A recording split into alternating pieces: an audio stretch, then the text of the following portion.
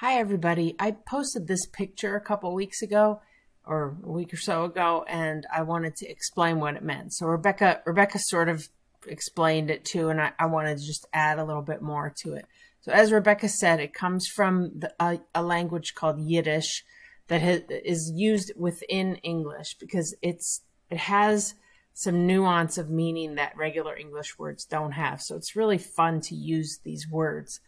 Um, and they're fun to say, schlep, but they have a lot of like sh with with a consonant sound, like schmooze and schlep, but schl, you know, all these different fun sounds. So in this case, it's it's a grocery store called Lidl or Lidl, I guess it's pronounced Lidl.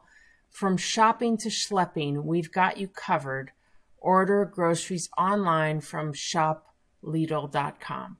So it's telling you order your groceries online.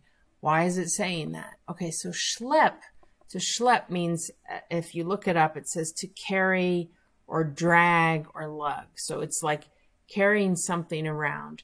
But it, it also has this sort of negative feel, like, oh, you have to schlep, you know, I got to schlep my, my kids around today. I've got to take them here and there. I've got to schlep my, my bags or my, my suitcases in the airport. I have to schlep them.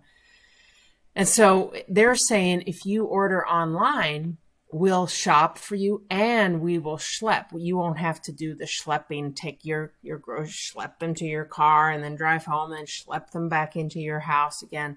We will do that for you. We've got you covered. Okay. So that's what it means from shopping to schlepping. Now, now Yiddish, um, is like Rebecca said, it comes, it's, it's a cross between German and Hebrew and it was brought to the United States by um, Jewish immigrants and refugees during World War II, often, and after World War II.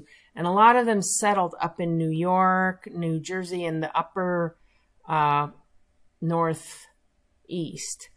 So you see a lot more words like this up there than you do here. I'm in Georgia. I don't know where you are, and I don't know whether you ever see words like this, but um, they're a lot of fun. It's a really, really rich, fun language.